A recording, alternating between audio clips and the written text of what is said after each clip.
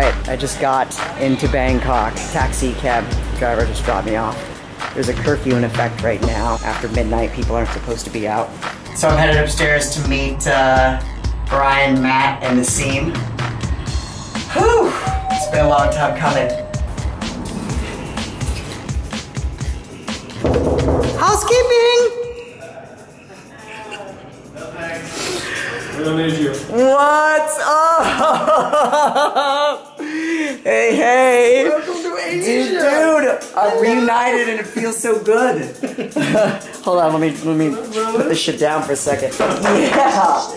It All sucks right. if there's a curfew, because if there wasn't a Bangkok. curfew, we could go out and get crazy right Yeah, we got Uh, kicked off the street by the fucking military. It looks like. Uh-oh. Can I answer it? Yeah. Swati, come. Hey, it's Nassim. How I'm so, so- good. so good good to to see you. Sorry, you see, I'm. I'm filming a lot of this.